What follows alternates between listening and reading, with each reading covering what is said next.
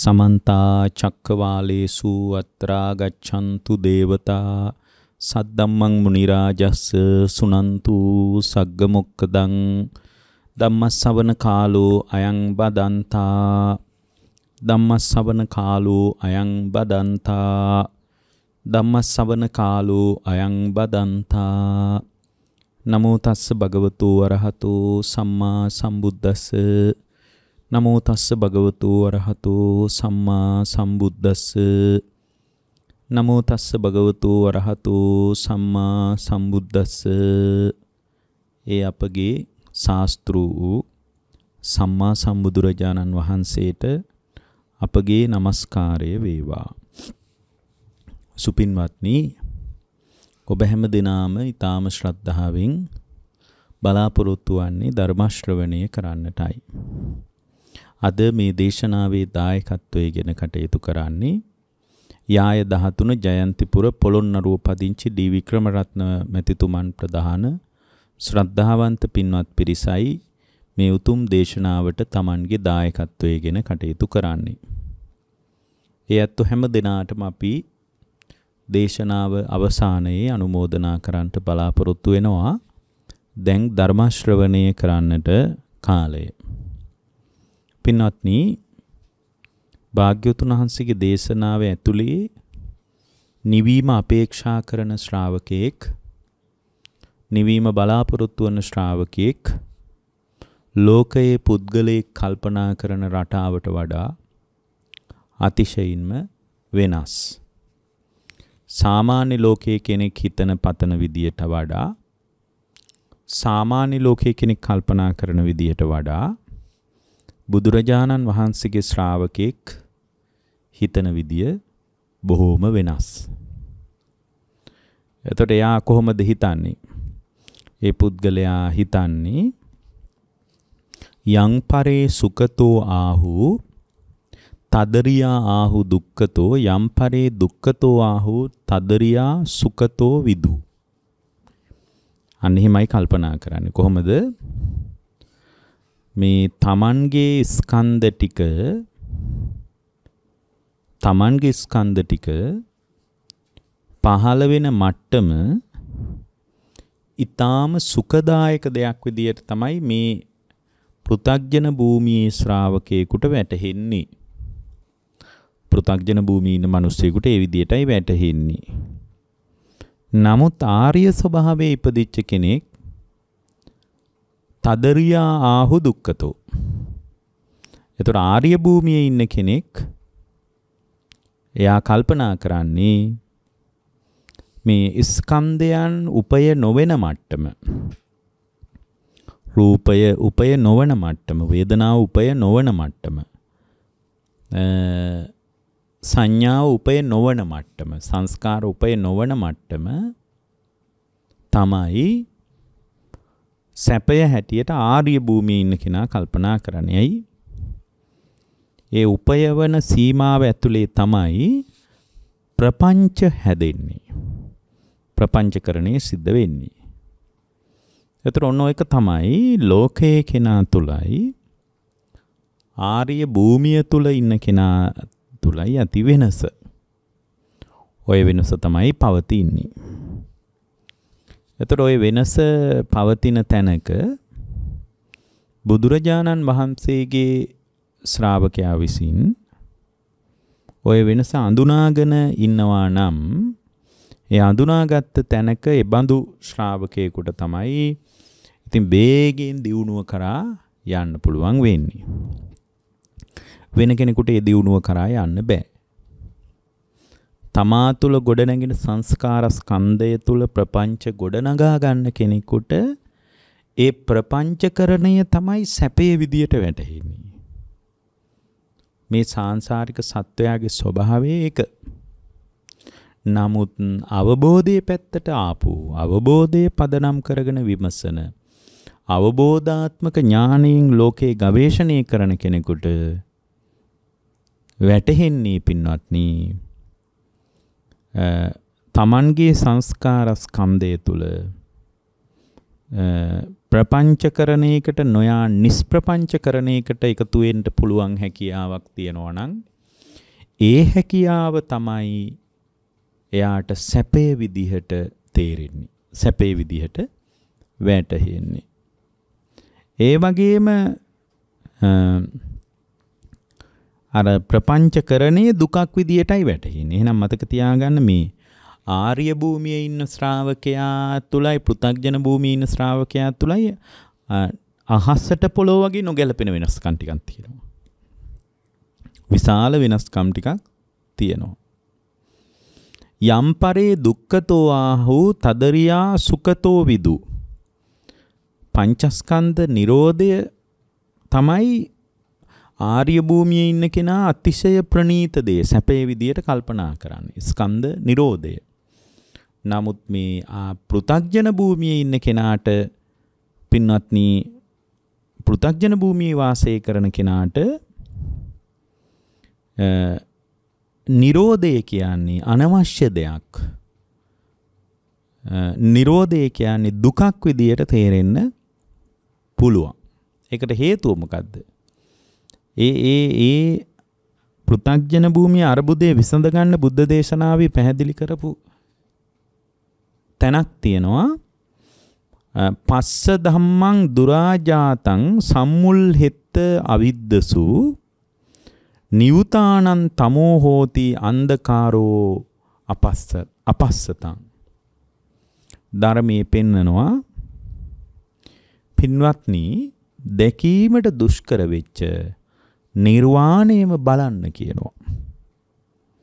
පස්ස ධම්මන් දුරා ජාතං සම්මුල් හෙත්ත අවිද්දසු. ඒක දකින්ට අමාරු දෙයක්. හැබැයි ඒ දකින්ට අමාරු නිර්වාණය දිහාම බලන්න කියනවා. එතකොට මේ නිර්වාණය දිහා බලන්න නම් බලනකොට නිර්වාණය පේන්න නම් ඒ පුද්ගලයාට බුද්ධ දේශනාව පැහැදිලි කරන අර සේක බල ප්‍රතිපත්තිය කියන එක නිවන බලන්න කලින් හදලා තියෙන්න ඕන. නැත්තම් බලනකොට නිවන පේන්නේ ඔන්න ඕක තමයි නිවන දර්ශනය නොවීමට බලපාන ප්‍රධාන ප්‍රශ්නය. ඒ පැත්ත බලන්න කලින්ම පින්වත්නි ඉන්ද්‍රිය ධර්ම ටික කලින්ම හදාගෙන ඉන්න ඕන.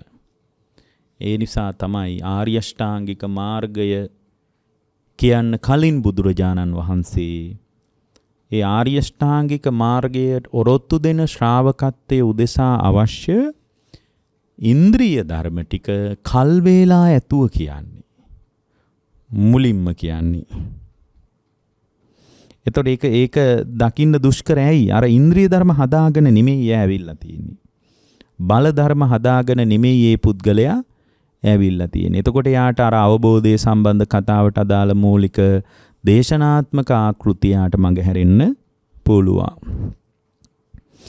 ඊට පස්සේ කියනවා මේ බාල පුද්ගලයෙකුට අන්ධ බාලයෙකුට සම්මුල් හෙත්තා විද්දසු ඒ ඒ යථාභූත ඥානේ නැති හොඳට ලෝකෝත්තර ධර්මයක් ගැන අහලා නැති දන්නේ නැති හඳුනාගෙන නැති බුදුරජාණන් වහන්සේ කවුද කියලා හඳුනගෙන නැති ධර්මයේ කවුද කියලා හඳුනගෙන නැති සංඝයා කියන්නේ කවුද කියලා හඳුනගෙන නැති මාර්ගය කියන්නේ මොකක්ද කියලා හඳුනගෙන නැති ප්‍රතිපත්තිය කියන්නේ මොකක්ද කියලා හඳුනගෙන නැති පුද්ගලයෙකුට නිර්වාණය කියන්නේ මහා මුලා වෙච්ච තැනක් විදියට පේන්න පුළුවන්.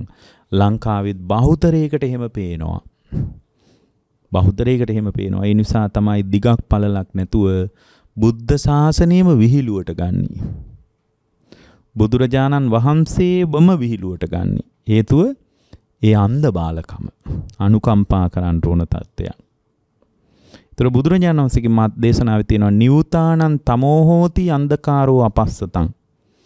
යම් වෙලාවක නිර්වාණය දර්ශනය වුණු ආර්ය පුද්ගලයාට නම්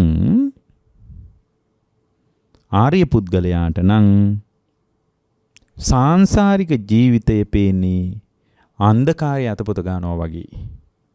ඒ වගේම ඒ අන්ධකාරයේ අතපොත ගගා ඉන්න ගමන් එයා ඒක සුන්දර දෙයක් කියලා හිතුවොත් එයාට නිවන පේන්නේ ඝන අන්ධකාරයක් විදියට. ඒ නිසා ඕගොල්ලන්ට මේ පිළිවෙත හරියටම මුණ ගැහිච්ච දවසට ඕගොල්ලන්ට ආලෝකේ කරා එන අදහසක් එයි. එතකොට ආලෝකයේ කරා එන විදිහත් මෙතනම ධර්මයේ අපිට පැහැදිලි කරනවා. කොහොමද? බවරාග පරේතේහි බවරාගානු සාරිහි බවරාගේ ස්පර්ශ කරන බවරාගයෙන් යුක්තවම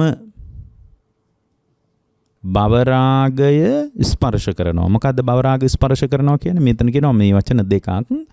බවරාග පරේතේහි බවරාගානුසාරිහි බවරාග පරේතේහි බවරාගයම ස්පර්ශ කරනවා. මොකද්ද මේ බවරාගයම ස්පර්ශ කරනවා කියලා කියන්නේ? බවරාගේ ස්පර්ශ කරනවා කියලා කියන්නේ එතකොට ඒ පුද්ගලයාගේ ස්වභාවයක් තියෙනවා මේ වෙලාවේ අත්දකින කෙලෙස් සහගත ගතියට අතිශයින්ම ප්‍රපංචකරණය ඇතුළේ අගයක් දීලා තියෙනවා. එතකොට මේ වෙලාවේ අපි තුල සිද්ධ වන සංසිද්ධිය ප්‍රඥාවෙන් විමසනකොට ස්කන්ධ ධාතු ආයතනයන්ගේ හට ගැනීමක්. ඒ ස්කන්ධ ධාතු ආයතනයන්ගේ හට ගැනීමට ප්‍රපංච සහගත අර්ථයක් දීලා තියෙනවා. මම කියලා අර්ථයක් දීලා, මගේ කියලා අර්ථයක් දීලා, මගේ ආත්මය කියලා අර්ථයක් දීලා තියෙනවා. ඒ ප්‍රපංච සහගත අර්ථයක් මේ මොහොතේ දීලා තියෙන එකට අපි කියනවා මොකද්ද? භවරාග පරේතේහි. ඊට පස්සේ භවරාගානුසාරී දෙවෙනි එක. මොකද්ද භවරාගානුසාරී කියලා කියන්නේ? භවරාගය අනුවම යමින් අනාගත අනාගත භවය හදමින් ඉන්නවා. ඒ කියන්නේ යා මේ මොහොතේ මේ මොහොතේ කන්දායතන ධාතු ටිකක් ඇති වෙලා නැති වෙලා යනවා කියලා දන්නෙත් නෑ. ඒක නෑ වගේම මේ මොහොතේ ඒ ස්කන්ධ ධාතු ආයතනයන් තුල ප්‍රපංචකරණයකට ලක් කරලා අනාගත භවයට අදාළත් අනාගත භවයට අදාළ විදියටත් ඒ පුද්ගලයා තුල සංස්කාර රැස් කර ගනිමින් ඉන්නවා. මෙන්න මේ දෙකට කියනවා මොකද භවරාග පරේතේහි භවරාගානුසාරී කියලා. මේ පෙර භවයේ පෙර පෙර ගොඩ නගාගත්ත භව සංස්කාරවල ප්‍රතිලාභයක් විදිහට ඵලයක් විදිහට තමයි ස්කන්ධ ටික ආයතන ටික ධාතු ටික හටගන්නේ. එතට මේ මොහොතේ ස්කන්ධ ධාතු ආයතන ටික හටගන්නකොට ඒ ස්කන්ධ ධාතු ආයතන ටික ප්‍රපංචකරණයෙන් තෙත් කරනවා. භවරාග පරේත. ඊට පස්සේ භවරාගානුසාරී. භවරාගානුසාරී කියන්නේ භවරාගානුසාරී කියන්නේ අනාගතයේත් ස්කන්ධ පතනවා. අනාගතයේ ආයතන ප්‍රාර්ථනා කරනවා.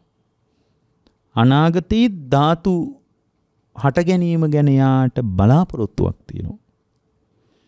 එතකොට මෙන්න මේක ඇතුලේ තමයි පින්වත්නි කෙලෙස් වලට අහු වෙච්ච ශ්‍රාවකයාගේ නැව නවාතැන් පොළ වෙන්නේ කෙලෙසාගත ශ්‍රත්වයාගේ නවාතැන් පොළ වෙන්නේ මෙන්න මේ මට්ටමට. එතකොට මේ කෙලෙස් සහගත සත්වයේගේ නවාතැන් පොළ එතන නම් ඕගොල්ලන්ට දක්ෂකමක් තියෙන්න ඕන මේ මට්ටම බිඳලා දාන්න. ඉතින් මේ මට්ටම බිඳින්න නම් ඕගොල්ලන්ට අර ආර්ය භූමිය ඇතුලේ බුද්ධ ශ්‍රාවකෙක් විමසන රටාවට හැර වෙන විකල්ප ක්‍රමයක් නැහැ පින්වත්නි. එතකොට අර දැන් යම් වෙලාවක පින්වත්නි මේ මට්ටම් දෙකම බිඳලා නම් යාගේ සිත නිවනටයිපත් වෙන්නේ. මොකද්ද? භවරාග පරේතේහි භවරාගානුසාරී කියන ලක්ෂණ දෙකම නැත්තම් මේ මොහොතේ ස්කන්ධ ධාතු ආයතන ටික ස්කන්ධ ධාතු ආයතන විදිහටම දකිනවා ප්‍රපංචකරණයකට යන්නෙත් නැත්තම්. අනාගත ස්කන්ධ ධාතු ආයතන ටික ප්‍රාර්ථනා කරගෙන ඒ වෙනුවෙන් වැඩ කරන කමකුත් නැත්තම්. මේ ලක්ෂණ දෙකම පින්වත්නි යම් ශ්‍රාවකයෙක් තුල ඇත්තේ නැත්නම් මේ ලක්ෂණ දෙකම නැති තැනක ඒ ශ්‍රාවකයා තුල නැවත භවයට එකතු වෙන ස්වභාවයක් නැහැ. භව සංස්කාර ගොඩනැගෙන ස්වභාවයක් නැහැ. එහෙනම් දැන් අපි මෙන්න මේ වචන දෙකයි බුද්ධ ශාසනය ඇතුලේ තේරුම් ගන්න ඕන. මේක තමයි ආර්ය ශ්‍රාවකයාගෙත් පෘථග්ජන ශ්‍රාවකයාගෙත් වෙනස ආර්ය භූමියට කැමති කෙනාගෙත් පෘථග්ජන භූමිය තුල එල්ලා ඉන්න කෙනාගෙත් වෙනස මොකද්ද? බවරාග පරේතේහි බවරාගානුසාරී. මේක පෘථග්ජන ශ්‍රාවකයාගේ ස්වභාවය. එතකොට මේ බවරාග පරේත ස්වභාවයත් බවරාගානුසාරී ස්වභාවයත් මේ මොහොතේ ස්කන්ධ ධාතු ආයතනයන් ටික මේ ප්‍රපංචකරණයකින් ග්‍රහණය කර ගැනීම විතරක් නෙමේ අනාගත ස්කන්ධ ධාතු ආයතන ප්‍රාර්ථනා කරගෙන ප්‍රපංචකරණයේ ඇතුලේ ඒ පුද්ගලයා තුළ සංකාරගත වීමකුත් තියෙනවා. ඒ සංකාරගත වෙන මට්ටමට කියනවා බවරාගානුසාරී කියලා. එතකොට මේ දෙකම තියෙනවා නම් කියන්නේ වර්තමානීත් අවිද්‍යාව තියෙනවා අනාගතයේ අවිද්‍යා සහගත ප්‍රාර්ථනාවකුත් තියෙනවා. එතකොට මේ දෙකම තියෙනවා නම් එතන මොකද වෙන්නේ? ඒ එතන තී එතන යාව මායයා විසින් වෙලා ගත්ත මට්ටමක්. කෙලස් මායයා එයාගේ වසඟයට ගත්ත මට්ටමක්. එතකොට දැන් මේ මට්ටම ඇතුලේ ඉන්නකම තමයි පින්වත්නි පෘ탁ජන භූමිය බවරාග පරේත බවරාගානුසාරී කියන මට්ටමින් අයින් වීම තමයි ආර්ය භූමිය. එතකොට මේ ආර්ය භූමියට පැමිණෙන ශ්‍රාවකෙක් හදන්න ඕන ಗುಣධර්ම හතරක් තියෙනවා. මෙන්න මේ ಗುಣධර්ම ටික හැදුවොත් බවරාග පරේත ස්වභාවයයි බවරාගානුසාරී ස්වභාවයයි කියන මේ ස්වභාව දෙකෙන්ම අපට ගැලවිලා අවබෝධයේ පැත්තට ක්‍රමානුකූලව ක්‍රමානුකූලව එකතු වෙන්න පුළුවන්කම තියෙනවා. ඒකට අවශ්‍ය වෙන්නේ යස්සේතේ චතුරෝ ධම්මා සද්දස්ස ගොරමේසිනෝ සච්ඡං ධම්මෝ දීතු චාගෝ සචේ පෙච්චන සෝචති අස්මා ලෝකං පරං ලෝකං ඒවං පෙච්චන සෝචති. එතකොට භවරාග පරේත ස්වභාවයයි භවරාගානුසාරී ස්වභාවයයි කියන ස්වභාව දෙකම. වර්තමානයේ කන්දායතන ධාතු ටික ප්‍රපංච සහගත කමින් අල්ලන්නෙත් නැත්තම්. ඒ වගේම අනාගතයේ ස්කන්ධ ධාතු ආයතන ප්‍රාර්ථනා කරන්නෙත් නැත්තම්. මොකද මට මෙසේ වේවා මෙසේ නොවේවා මම මෙසේ වෙමි මට මෙසේ නොවේවා කියලා අර හැම වෙලාවකම මම ආයනේ පදනම් කරගෙන එළඹීමත් මන මම ආයනේ පදනම් කරගෙන අනාගත ලෝකය ප්‍රාර්ථනා කිරීමත් කියන මට්ටම ඇතුලේ තියෙන්නේ පෘථග්ජන භාවයක්මයි. එතන තියෙන්නේ පෘථග්ජන භාවයක්මයි. එතකොට මේ පෘථග්ජන භාවයේ බිඳින්න නම් මොකද්ද කරන්න ඕන? යස්සේතේ චතුරෝ ධම්මං සද්දස්ස ගොරමේසිනු. එතකොට මේ ශ්‍රද්ධාව ඇසුරු කරගෙන ශ්‍රද්ධාව ඇසුරු කරනවා කියන්නේ බවරාග බවරාග පරේත ස්වභාවයයි බවරාගානුසාරී ස්වභාවයයි කියන දෙකම දුක ඇතුලේ බලනු. බවරා මේ වෙලාවේ ස්කන්ධ ධාතු ආයතන හටගෙන තියෙන එකමත් දුකක් අනාගත ස්කන්ධ දායතන ධාතු ආයතනයන් හටගන්න එකක් දුක. භවරාග පරේතේ ස්වභාවයයි භවරාගානුස් භවරාගානුසාරී ස්වභාවයයි කියන මේ ස්වභාව දෙකම ඇතුලේ තියෙන්නේ දුක දුක දුක කියලා බලනවා. මේ ස්වභාව දෙකම දුකේ ප්‍රතිලාභයක් කියලා බලනවා. මේතර මේ ස්වභාව දෙකම දුකේ ප්‍රතිලාභයක් කියලා දකිනකොට බැරිද මට මේ ප්‍රශ්نين විසඳෙන්න? මේකෙන් ගොඩ යන්න බැරිද මට? භවය නොපැනවීම පිණිස මට බැරිද වැඩ පිළිවෙලකට ඉන්න පුළුවන් පුළුවන් මට එන්න පුළුවන්. කවුද ඒ පිළිවෙල මත කරේ බුදුරජාණන්සේ? කොහෙද ඒ පිළිවෙල තියෙන්නේ ධර්මයේ තුල? ඒ පිළිවෙල තුල ප්‍රායෝගිකව ප්‍රතිඵලය කරා ගියපු අය ඉන්නවද? ඔව් ඉන්නවා සංඝයා. ඒ පිළිවෙත කරා එකතු වෙන්න මම මොනවද කරන්න ඕනේ? ඒකට ප්‍රතිපත්තිය කියලා එකක් තියෙනවා. එතකොට මේ වැඩපිළිවෙල කරොත් මට මොකද්ද වෙන්නේ? භවරාග පරේත ස්වභාවේනුයි භවරාගානුසාරී ස්වභාවේනුයි. ඒ ස්වභාවයට අපි කියන මොකද්ද? භව නිරෝධයට එකතු වෙනවා කියලා. ඒ කියන්නේ භව නිරෝධේ නම් වූ විමුක්තිය කරාමට එන්න පුළුවන්. අන්න එතන බුදුරජාණන් වහන්සේ කෙරෙහිද ධර්මයේ කෙරෙහිද සංඝයා කෙරෙහිද මාර්ගයේ කෙරෙහිද ප්‍රතිපත්තිය කෙරෙහිද විමුක්තිය කෙරෙහිද ඒ ශ්‍රාවකයාට ප්‍රසාද ජනක මට්ටමක් උපදිනවා. සද්ධානුසාරී මට්ටමක් උපදිනවා. අන්න එතන තියෙනව මොකද්ද? යස්සේතේ චතුරෝ ධම්මං සද්දස්ස ගොරමේසිනෝ එතකොට ඔය ශ්‍රද්ධාවන්තකම කියන එක ඔන්න ඔතන උපදින්නේ කියනවා.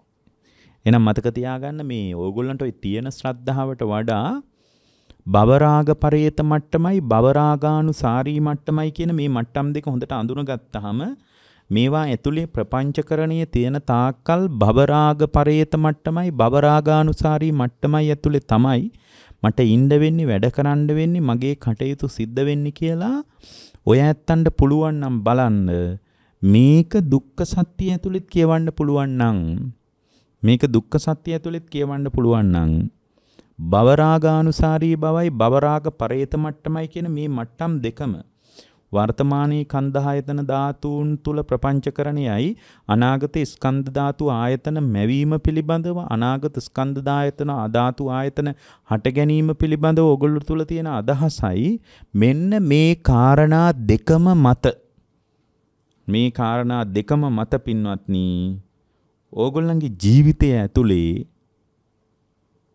මේ ටික ඇතිවෙන්න බලපාන සාක්ෂිය සාධකයේ විදියට එයා තුල මතුවෙන්නේ කුමක්ද? එයා තුල මතුවෙන්නේ තණ්හා උපාදාන මතින්ම බවරාග පරේත ස්වභාවයයි බවරාගානුසාරී ස්වභාවයයි මතුවෙන අන්න දුකට හේතුවක් පේනවා.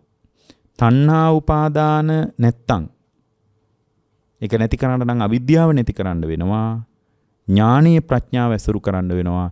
ප්‍රඥාව ඇසුරු කරගෙන අවිද්‍යාව නැතුව යම් වෙලාවක තණ්හා උපාදාන වලින් නිදහස්ව යම් ශ්‍රාවකයෙකුට විමසන්ට විශ්ලේෂණය කරන්න පුළුවන්කමක් තියෙනවා නම් ඒ බඳු විමර්ශනයකට යම් ශ්‍රාවකයෙකුට පින්වත්නි එකතු වෙන්න පුළුවන්කමක් තියෙනවා නම් ඒ එකතු වෙන එක ඇතුලේ එයාට මේ ආර්ය සත්‍ය පිළිබඳව පැහැදිලි අවබෝධයක් එනවා. ඒ අවබෝධය ඇතුලේ එයාට මොකද්ද වෙන්නේ? සද්දස්ස ගොරමේසිනෝ. සද්දස්ස ගරමේසිනෝ. එතකොට එතන තමයි යාට ස්ථාවර ශ්‍රද්ධාවක් උපදින්නේ. එහෙනම් මතක තියාගන්න මේ ධර්මඥානිය නැතුව පිහිටි ශ්‍රද්ධාවකට එන්න බෑ. විශ්වාසවන්තකම ඇතුලේ අහිංසක සද්ධාාවක් ගොඩනැගෙන්න පුළුවන්. විශ්වාසකම ඇතුලේ යම් අහිංසක ශ්‍රද්ධාවක් යම් පුද්ගලයෙක් තුළ ගොඩනැගෙන්න පුළුවන්. හැබැයි මෙන්න මේ අවබෝධය තුලින් තමයි මේ ශ්‍රද්ධාව ඒ ශ්‍රාවකයා තුළ ගොඩනැගෙන්නේ. ඒ ගොඩනැගෙනකොට මොකද්ද වෙන්නේ? යස්සතේ චතුරෝ ධම්මං යම් ආකාරයක හතර ධර්මයක් ඇසුරු කරගෙන ඒ ශ්‍රද්ධාව මෝරන්නේ. සතර ධර්මයක් මොකක්ද ඒ සද්ධාව? මොනවද ඒ කාරණා හතර? එතන තියෙනවා සච්ඡන් ධම්මෝ දීතු චාගෝ සචේ පෙච්චන සෝචති අස්මා ලෝකං පරං ලෝකං ඒවං පෙච්චන සෝචති. එතකොට මේ හතර කාරණයක් ඇසුරු කරනවා මේ ශ්‍රද්ධාව. දැන් ඕගොල්ලන් තුල තියෙන ශ්‍රද්ධාව එහෙම කාරණා හතරක් ඇසුරු කරන මට්ටමක් නැහැ පින්වත්නි.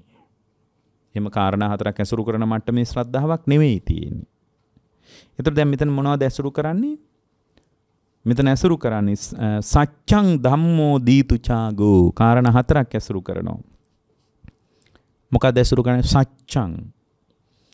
සත්‍ය ඇසුරු කරනවා. සත්‍ය ඇසුරු කරනකොට යටත් පිරිසින් සත්‍ය සම්බන්ධව තුන් ආකාරයක විග්‍රහයක් ඒ ශ්‍රාවකයට එන්න ඕන. මොකද්ද? දැන් බවරාග පරේතේහි බවරාගානුසාරිහි ඕක දුක විදියට දකින්න ඕන. ඒක දැකලා තමයි සද්ධාවට ආවේ. ඒකම ඉස්සරහට අරන් යන්නයි තියෙන්නේ. භවරාග පරේතේහි භවරාගානුසාරී ස්වභාවය ඇතුලේ පින්වත්නි අවිද්‍යා තණ්හා උපාදාන මට්ටම දකින්න ඕනේ ඒක දුක්ඛ සමුදය මට්ටම. අවිද්‍යා තණ්හා උපාදානී නැත්තම් පින්වත්නි යාට භවයේ ප්‍රාර්ථනා කරන්නෙත් නෑ භවයේ තුල එළඹී ඉන්නෙත් නෑ අනාගත ස්කන්ධ ධාතු ආයතන හටගන්න ඕන අනාගත ස්කන්ධ ධාතු ආයතන ගොඩනැගෙන්න ඕන ඒවා රැස් වෙන්න ඕන ඒවා රැස් කරන්න ඕන කියන අදහසක් නැහැ අනාගත ස්කන්ධ ධාතු ආයතනයන් දුරු කිරීම පිණිස ආර්ය සත්‍ය අවබෝධයේ පැත්තට බර වෙන්න ඕන නැමෙන්න ඕන ඒකට අදාළ පිළිවෙතක් තියෙනවා. අදි සීල අදි චිත්ත අදි පඤ්ඤා සංඛ්‍යාත කියලා මෙන්න මේ විදිහට එයාට සත්‍යං සත්‍ය පිළිබඳ නුවණ තියෙන්න ඕන. දෙක. ඒ බවරාග පරේතේහි බවරාගානුසාරීහි කියන මට්ටම ඇතුළේ බවරාග පරේත මට්ටමයි බවරාගානුසාරී මට්ටමයි ඇතුළේ යම් වෙලාවක පින්වත්නි ඒ මට්ටම ඇතුළේ යම් පුද්ගලයෙකුට අදහසක් තියෙන්න ඕන සත්‍යං කියනකොට භවය කියන්නේ මේ වෙලාවේ ඇති වෙලා නැති වෙලා යන එකක්. ඒක අර්ථයක් දෙන්න, අගයක් දෙන්න, වටිනාකමක් දෙන්න ඕන එකක් නෙමෙයි. මේ වෙලාවේ ඇති වෙලා නැති වෙලා යනවා. ඉතින් මේ වෙලාවේ ඇති වෙලා නැති වෙලා යනවා නම් ඒක මට අල්ලලා තියාගන්නත් බැරි නම් ඒක මග මගේ වසඟේ තියාගෙන ඉන්න පුළුවන් මට්ටමකුත් නැත්නම් එතකොට ඒක මගේ වසඟේ තියාගන්න බැරි මට්ටමක් නම් එතන අනාත්මීය ස්වභාවයක් නම් මතුවෙන්නේ ඇති වෙලා නැති වෙලා යන ස්වභාවයක් නම් තියෙන්නේ ඒක. ඒක ඇතුලේ තියෙන අනාත්ම ස්වභාවයක් නම්. ඒ බඳු අනාත්ම ස්වභාවයකින් යුක්ත භවයක්. භව රාගානුසාරිහි අනාගතේටත් ප්‍රාර්ථනා කරන එක ඇති වෙලා නැති වෙලා යන ස්කන්ධ ටිකක්ම ප්‍රාර්ථනා කිරීමක්. ඒක නුසුදුසු දෙයක් නොකල යුතු දෙයක්. ඒක අනවශ්‍ය දෙයක් කියන පැහැදිලි වැටහීමේ ශ්‍රාවකයාට තියෙන්න ඕන එතකොට මේ තමයි සත්‍ය හදන්නේ සත්‍ය. දැන් මෙතන කියනවනේ අර සද්ධාවම ඇසුරු කරගෙන කාරණා හතරක් යස්සේතේ චතුරෝ ධම්මා කියලා. කාරණා හතරක් සද්දස්ස ගොර සද්දස්ස ගරමේසිනෝ කියලා. සද්ධාවම ඇසුරු කරගෙන ඇති වෙන මෙන්න මේ කාරණා හතර භවරාගයයි භවරාග පරේත ස්වභාවයයි භවරාගානුසාරී ස්වභාවයයි. මේ වෙලාවේ උපාදානයයි අනාගත ලෝකේ උපාදානය වෙන මට්ටමයි ඇතුලේ මේ මොහොතේ සත්වපුද්ගල භාවයෙන් අල්ලගෙන අනාගතයේත් සත්වපුද්ගල භාවයෙන් මම පවතින්න ඕන මම ඉන්න ඕන මම රැඳෙන්න ඕන අනාගතයේත් මට මෙසේ වේවා මෙසේ නොවේවා කියලා ප්‍රාර්ථනා කරන ගතියක් ඇතුලේ අසෘතවත් පෘ탁ජනයේ කල්පනා කරන විමසන රටාවයි මේ බිඳලා දාන්න හදන්නේ යස්සේතේ චතුරෝ ධම්මං සද්දස්ස ගරමේසිනෝ එතකොට දැන් මේ සත්‍ය හදනකොට එතකොට යාට තේරෙන්න ඕන ආර්ය සත්‍ය ඇතුලේ නුවණ ඊළඟට තමයි මමත්වයෙන් ගන්න මොකුත් නැහැ කියන ගතිය. මමත්වයෙන් ගන්න මොකුත් නැහැ හේතුව භවය කියන්නේ අනිත්‍ය දෙයක්, භවය කියන්නේ දුකක්, භවය කියන්නේ අනාත්ම දෙයක්. එතකොට මේ භවය කියන්නේ ඇති වෙලා නැති වෙලා යන එකක්, සමුදයයි නිරෝධයයි පවතින තත්ත්වයක් ඇතිවීම නැතිවීම පවතින දෙයක් කියලා තුන් පැත්තකින් යම් කිසි ආකාරයක වැටහීමක් තියෙනකොට ඔන්න සත්‍යං. සද්ධාවම ඇසුරු කරගෙන සත්‍යං කියන ස්වરૂපය පිරෙනවා. සත්‍යං ධම්මෝ ඊළඟ එක මොකද්ද? සත්‍යං පළවෙනි එක ඊළඟ එක ධම්මෝ ධර්මය. එතකොට මෙතන ධර්මය කියලා කියන්නේ පින්වත්නි අර ඒ ශ්‍රාවකයාට සම්පූර්ණයෙන් භවය හැදෙන ආකාරය පිළිබඳවත් අනාගතයේ භවය හැදෙන ආකාරය පිළිබඳවත් මේ මොහොතේ භව නිරෝධය පිණිස භව නිරෝධයේ සිද්ධ වෙන ආකාරයත් අනාගතයේ භව නිරුද්ධ කරනවා නම් නිරුද්ධ කළ යුතු ආකාරයත් පිළිබඳව යම්කිසි අවබෝධයක් තියෙනවා. ඒ කියන්නේ මේ කියන්නේ මොකද්ද?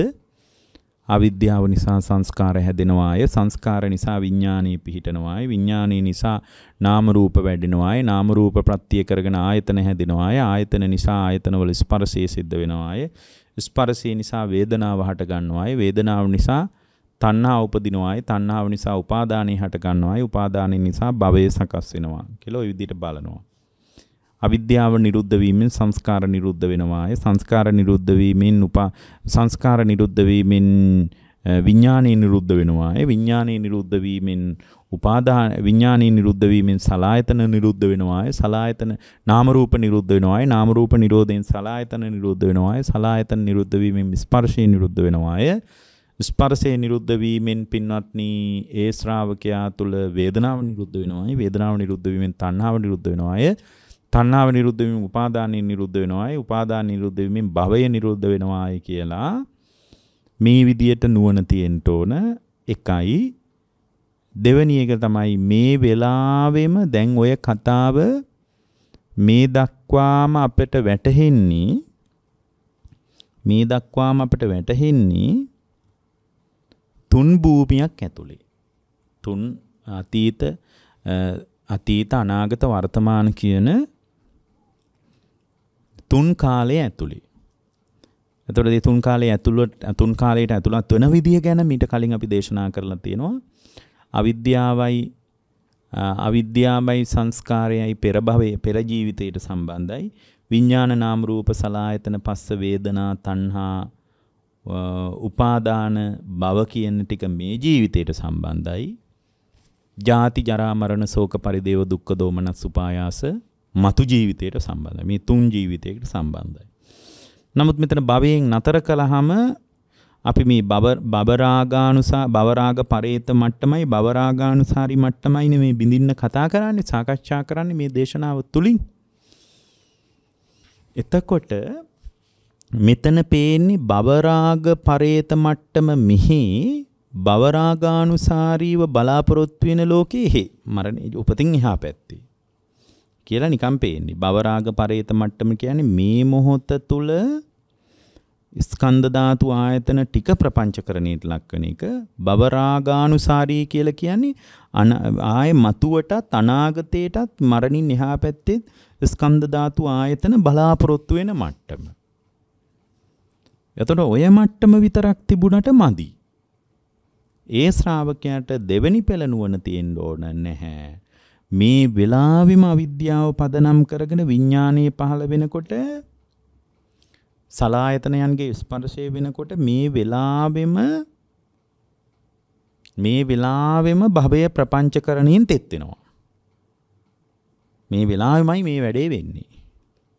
ඕකට අපි කියන මොකද ඉදප්පච්චේතා පටිච්ච සමුප්පන්න න්‍යාය කියලා. මේ වෙලාවෙමයි වැඩේ වෙන්නේ. ඉස්සලා භව තුනකට සම්බන්ධ කරලා බලනවා. එතකොට අපිට භවරාග පරේත මට්ටම මෙහි භවරාගානුසාරී මට්ටම එහි. ඒ විදිහට පේන්නේ. නමුත් භවරාග පරේත මට්ටමයි භවරාගානුසාරී මට්ටමයි ඒක මේ වෙලාවෙම ඇති වෙන තත්වයක් කියලා බලනවා භව භව නිරෝධය කරාත් මේ වෙලාවෙම එකතු වෙ යුත්තේ. කියන්නේ මේ වෙලාවේ ඇහෙන පේන දැනෙන හිතෙන මට්ටම තුල මම ප්‍රපංචකරණයකට නොයා ප්‍රපංච සහගත වෙන්නේ නැතුව මේ වෙලාවෙමයි මම එකතු වෙන්න ඕන අවබෝධයේ පැත්තට මේ වෙලාවේ ප්‍රපංචකරණයකට යන්නේ නැත්නම් අනාගත භවයේ නිරුද්ධයි. ආය අනාගත භවයේ නිරුද්ධ වෙන්නේ ඇයි මේ භවයේ ඇසුරු කරගෙන පින්වත්නි ස්කන්ධ නැවත හටගන්න පුළුවන් විදියට මම ආයනේ පදනම් කරගත්ත ගතියක් ඇතුලේ හැදෙන්නේ නැහැ. ඒ බඳු ගතියක් ඇතුලේ හැදෙන්නේ නැහැ. ඒ බඳු ගතියක් හැදෙන එකමයි අර්බුදය. ඒ බඳු ගතියක් දැන් ඇතුලේ හැදෙන්නේ නැහැ. ඔන්න ඔය විදිහට පින්වත්නි මේ ශ්‍රාවකයාට මෙතන සච්ඡං ධම්මු කියලා කිව්වේ ඔන්න ඕක. එතකොට මෙතන ධම්ම කියලා කියන්නේ මොකද්ද? පටිච්ච සමුප්පන්න ධර්මය කියන එක. ඒ කියන්නේ බවරාග පරේත මට්ටමයි බවරාගානුසාරී මට්ටමයි කියන මේ මට්ටම පවතිනට අදාළ පටිච්ච සමුප්පන්නව මේක ගැට ගැහෙන විදියයි මේක ලිහෙන විදියයි. පිළිබඳව යම් අදහසක් තියෙන්න ඕන. එතකොට සච්ඡං ධම්මෝ දීතු චාගෝ. එතකොට සද්ධානුසාරී ශ්‍රාවකයා මාර්ගයට පහදිනවා කියලා කියන්නේ සත්‍යයට ධර්මයට ඊට පස්සේ දීතු. දීතු කියලා කියන්නේ දීතු කියන උත්සාහය. උත්සාහය. එතකොට දැන් මෙතන උත්සාහය කියන්නේ මොකද්ද පින්වත්නි? මොනවටද උත්සාහ කරන්නේ? උත්සාහ කරන්නේ ප්‍රතිපත්තියට. උත්සාහ කරන්නේ මොකටද? ප්‍රතිපත්තියට. එතකොට ප්‍රතිපත්තිය කියලා ධර්මයේ පෙන්වන්නේ මොකද්ද? අදිසීල, අදිචිත්ත, අදිපඤ්ඤා සංඛ්‍යාත භාවයේ තමයි ධර්මයේ ප්‍රතිපත්තිය කියලා පෙන්වන්නේ. එන සච්ඡන් ධම්මෝ දීතු කියලා කියන්නේ ප්‍රතිපත්තියට. දීතු කියන එකේ අර්ථය මොකද්ද? උත්සාහය කියන එක. දැන් මොකටද මේ විදියට ටිකක් ගැඹුරින් දකින සද්ධානුසාරී ශ්‍රාවකයෙක් උත්සාහ කළ යුතු වන්නේ? භව නිරෝධයට. ඉතින් භව නිරෝධයට උත්සාහ කරනවා කියලා මොකත් මතද මං උත්සාහ කරන්නේ මොනවා මතද? අන් කවර දෙයක් මතවත් නෙමෙයි අපි උත්සාහ කළ යුතු වන්නේ සීල සමාධි ප්‍රඥාව මත. එතකොට සීල සමාධි ප්‍රඥාව මත උත්සාහ කරනකොට පින්වත්නි බවරාග පරේත මට්ටමයි බවරාගානුසාරී මට්ටමයි කියන මේ මට්ටම එන්නේ මේ මොහොතේ ස්කන්ධ ධාතු ආයතන පහළ වෙනකොට. එතකොට ස්කන්ධ ධාතු ආයතනයන්ගේ සැකැස්ම ඇතුලේ තමයි මට ලෝකේ අත්දකින්න පුළුවන්. ඒ අත්දැකීම ඇතුලේ තමයි මට ලෝකේ පරිහරණය කරන්න පුළුවන්. දැන් ආයතන මේ වෙලාවේ පහළ වෙනවා. එතුර ආයතන ඇස පහ ඇස උපදිනකොට වර්තමානයේ ඇසෙන් දකින රූපේ ඇසුරු කරගෙන තමා තුළ ස්කන්ධ ටිකක් හටගන්නවා. එතකොට අනිත්‍ය වෙච්ච ස්කන්ධ ටිකක් තමයි හටගන්නේ. ඒ අනිත්‍ය වෙච්ච ස්කන්ධ ටික අනිත්‍ය වෙන ස්කන්ධ ටික හට ගන්නකොට ඒ ස්කන්ධයන් මම වශයෙන් මගේ වශයෙන් වැටහෙනවා. ස්කන්ධ අනිත්‍ය වෙලා මම මේ පැත්තේ ඉන්නවා නෙමෙයි. ස්කන්ධයන්ගේ පහළවීම තුලම තමයි මම මගේ කියන වැටහීම මා තුල ගොඩ නැගෙන්නේ. අනිත්‍ය වෙච්ච ස්කන්ධ ටිකක් තුල මම මගේ මගේ ආත්මය කියලා ප්‍රපංච සහගත ගතියක් නම් නඩත්තු කරන්නේ මේ ප්‍රපංච සහගත ගතිය නඩත්තු වීම පිණිස අවකාශයේ සැදෙන්නේ අවකාශයේ සකස් වෙන්නේ ආයතනයන්ගේ ප්‍රතිලාභය තුල. එනම් මේ ආයතනික සංසුන්කමක් මුලින් හදා ගන්නවා. ආයතනික සංසුන්කමක් මුලින් හදා ගන්නවා. ඒක සීලය. ඊට පස්සේ සමාධිය කියලා කියන්නේ පින්වත්නි සිත පුහුණු කරන්න ගන්නවා. මොකද මේ බණ අහගෙන ඉන්නකොට ඇතිවෙන ස්කන්ධ ධාතු ආය පින්වත්නි ස්කන්ධ ධාතු ආයතන ඇසුරු කරගෙන ප්‍රපංචකරණයකින් වර්තමානී තෙත් කරන්නත් එපා අනාගත ස්කන්ධ ආයතන ධාතු ප්‍රාර්ථනා කරන්නත් එපා කියලා කිව්වට එපා කියලා කියපු පමණින්ම ඕගොල්ලෝ මේක කරන්න තරම් ඕගොල්ලන්ට ස්වභාවික ඥානයක් පිහිටලා නැහැ. මේ ඔක්කොම අපි හඳුනගන්නේ මේ ඔක්කොම අපි දැනගන්නේ මේ ඔක්කොම අපි තේරුම් ගන්නේ භාග්‍යවතුන් වහන්සේ වදාළ ඥානයින්. ඒ නිසා ඒ මේ මේ ඥානය මගේම කරගන්න මේ ඥානය අපි තුලම ගොඩනගා ගන්න අපිට බුදුරජාණන් වහන්සේ පාවිච්චි කරන්න කියලා අනුදැන වදාළ උපක්‍රමය තමයි උපක්‍රමය තමයි පින්වත්නි. හොඳට අපේ ජීවිතය ඇතුලේ ඊටාම හොඳින් අපේ ජීවිතය ඇතුලේ ඒ භාග්‍යවතුන් වහන්සේ වදාළ විදිහට බුදුරජාණන් වහන්සේ වදාළ රටාවට සමාධිය දියුණු කරගෙන යන එක. එතකොට එතන සමාධිය කියන එක අපි කතා කරනවා උපචාර අර්පණා වශයෙන්. එතකොට උපචාර අර්පණා වශයෙන් සමාධිය වඩන්නේ සමාධිය තුල සාරයක් තියෙනවට නෙමෙයි අර භවරාග පරේත මට්ටමයි භවරාගානුසාරීව අනාගතයේ භවය ගැන අපේක්ෂාවක් දල්වාගෙන ඉන්න ගතියයි කියන එක අර ප්‍රපංච සහගතව කෙලෙස් සහගත අවිද්‍යා සහගත සාංශාරික සත්‍යයකට ආවේනික තත්වයක්. ඒකේ සත්‍යයට ආවේනික තත්වයක්. එතකොට මේ ආවේනික තත්වය ඇතුලේ තමයි පින්වත්නි අපි ඉන්නේ. එතකොට මේ ආවේනික තත්වයක් ඇතුලේ නම් අපි ඉන්නේ මේ ආවේනික තත්වයෙන් මිදීම නිදහස් වීම පිණිස මේ ආවේනික තත්ත්වයෙන් ගැලවීම නිදහස් වීම මිදීම පිණිස අපේ මානසිකව අවකාශයක් නැති නිසා අපේ හැම වෙලාවකම මානසික ගතිය තුළ තියෙන්නේ නීවරණ. කාමච්ඡන්ද ව්‍යාපාද තීන මිද්ද උද්ධච්ච කුක්කුජ විචිකිච්ඡා කියන නීවරණ මත තමයි පින්වත්නි අපේ සිත හැම වෙලාවකම හැසිරෙන්නේ.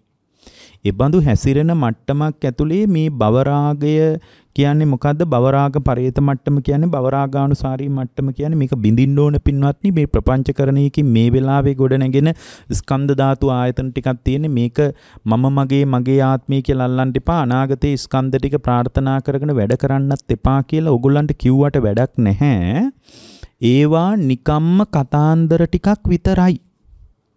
ඒවා නිකම්ම කතාන්දර ටිකක් විතරයි. ඒතර ඒවා නිකම්ම කතාන්දර ටිකක් විතරක් නිසා මේ කතාවෙන් ඕගොල්ලන්ට අයින් වෙන්න ඕන නම් මේ කතාවෙන් ඕගොල්ලන්ට අයින් වෙන්න ඕන නම් ඕගොල්ලන්ගේ මානසික සූදානමක් අවශ්‍යයි. ඒකට අදාළ භූමිය අවශ්‍යයි. ඒක විමසන්ට තරම් අමාරුයි මොකද කෙලෙසුන්ගෙන් මහා බරපතල විදිහට බැටකන සිතක් අපට තියෙන්නේ. ඒ නිසා අපි සමාධියනොත් උදව්ව ගන්න ඕන. සමාධිය වඩන්න වඩන්න අර නීවරණයන්ගෙන් බැටකන ස්වභාවය අයින් වෙලා සමාහිත සිතක් උපදිනවා. සමාහිත සිත ඇතුලේ කාමයන්ගේ ඇසුරයි කෙලෙසුන්ගේ ඇසුරයි බොහෝ දුරට මැඩ පැවැත්තිලා තියෙන්නේ. නැත්තටම නෑ නෙමෙයි බොහෝ දුරට මැඩ පැවැත්තිලා තියෙන්නේ. අන්නේ සමාධිමත් සිත ඇතුලේ පින්වත්නි ප්‍රඥාව පාවිච්චි කළොත් ඒ ප්‍රඥාව තුල තමයි භවයෙන් ඒ පුද්ගලයාගේ සිත පාරිශුද්ධියට එකතු වෙන්නේ. භවරාග පරේත මට්ටම කියපු මේ වර්තමානී ස්කන්ධ ධාතු ආයතන ටික පහළ වෙනකොට උපයෝපාදාන අබිනිවේෂ අනුසේ වශයෙන් ඒ පුද්ගලයා තුළ ඇතිවෙන අරුබුදය. එහෙමත් නැත්නම් මේ වෙලාවේ ස්කන්ධ ධාතු ආයතනයන්ගේ පහළවීම මත ප්‍රපංච සහගත වෙනකම මේ වෙලාවේ ප්‍රපංච සහගත වෙනකම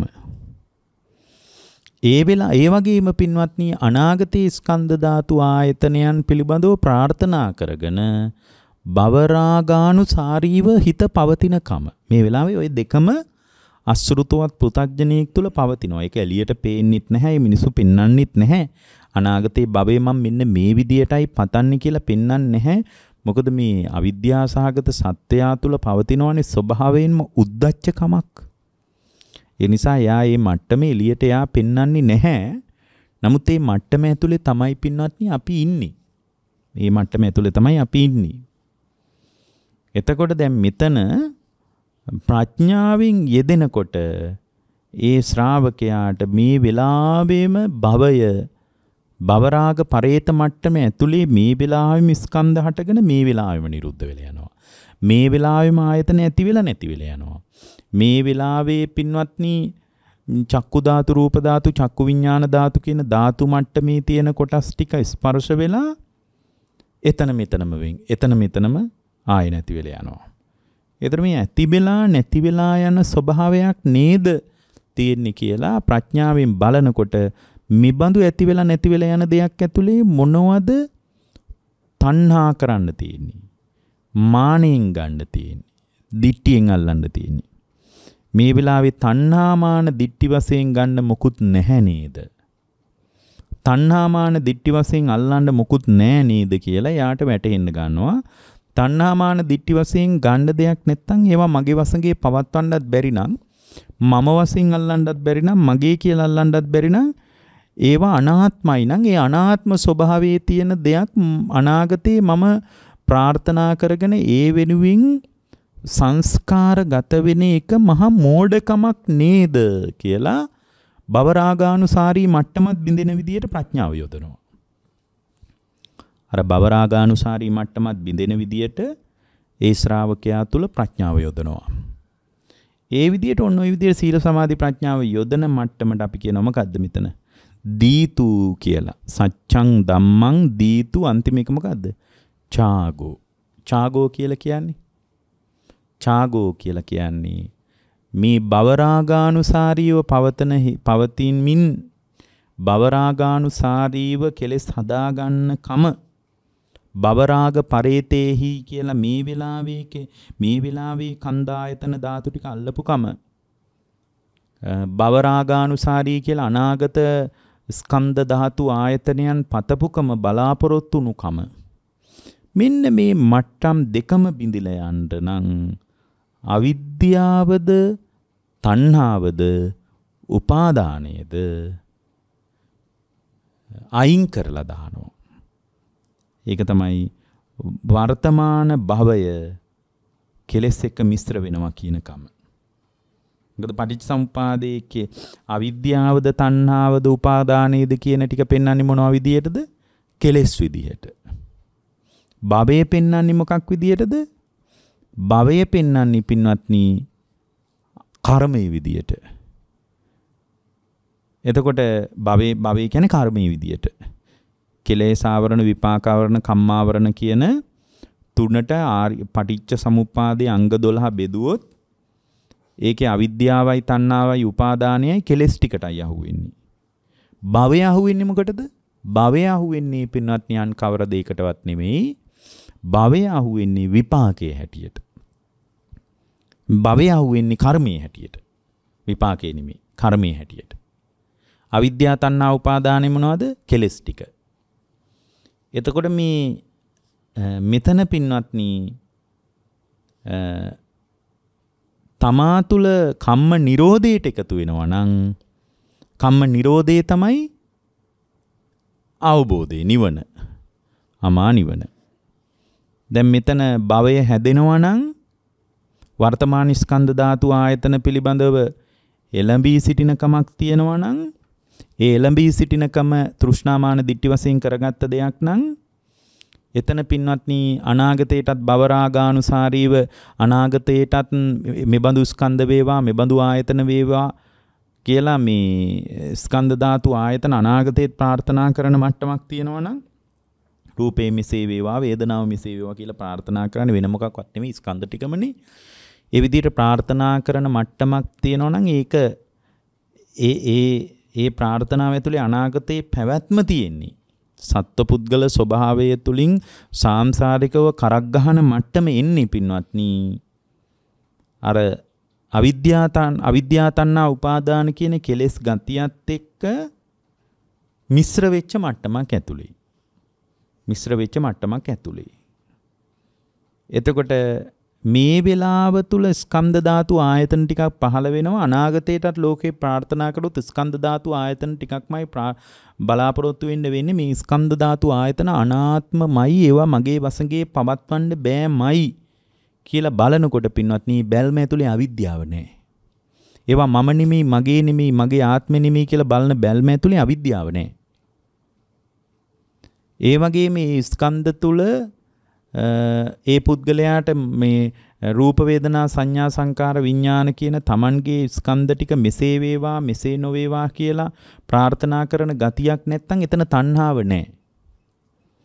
ස්කන්ධ ඇති වෙලා නැති වෙලා යනවා ඒවා මගේ වසඟේ පවත්වන්න පුළුවන් දේවල් නෙමෙයි කියලා බලන හුරුව තියෙනවා නම් ඒ හුරුව ඇතුලේ පින්වත්නි ස්කන්ධ උපාදානීය වෙන්න අවකාශයක් නැහැ. ස්කන්ධ ඇති වෙලා නැති වෙලා යනවා ආයතන ඇති වෙලා නැති වෙලා යනවා මොකද ඒවා පැරණි සංස්කාර විසින් ගොඩනගලා ඉවර නිසා. එබඳු තත්ත්වයක් ඇතුලේ එයාට තියෙනවා බොහොම යථාර්ථවාදී අවබෝධයක්. ඒ අවබෝධය ඇතුලේ එයාට කිසිදු ආකාරයක උමනාවක් නැහැ. අනාගත ස්කන්ධ ධාතු ආයතන අණුව ප්‍රාර්ථනා කරමින් ඒ අණුව ගිය හිතක් නඩත්තු කරන්න යාට උමනාවක් නැහැ. අන්න බවරාගානුසාරීව එයාගේ සිත පවත්වන්න යාට උමනාවක් ඇත්තේ නැහැ පින්වත්නි. ඔන්න ඔය විදියට තමා තුළ අවිද්‍යාවයි තණ්හාවයි උපාදානයයි අතහැරලා දාන මට්ටමක් තියෙනවා නම් එතන තමයි ත්‍යාගය කියලා කියන්නේ. එතකොට එතකොට පින්වත්නි භවයට භවයේ පැවැත්ම පිණිස අවකාශයයි සිඳින්නේ පින්වත්නි.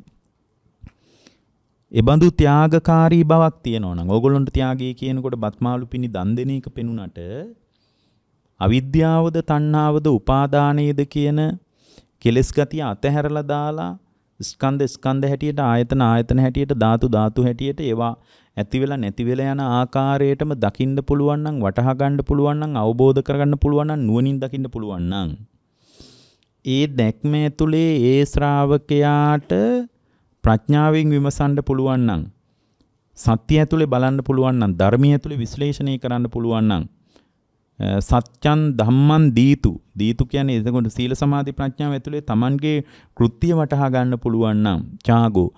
අවිද්‍යා තණ්හා උපාදාන කියන ඒවා අතහැරලා දාන්න පුළුවන් නම් පින්වත්නි අනාගත සත්වපුද්ගල භාවයක් හැදින්නේ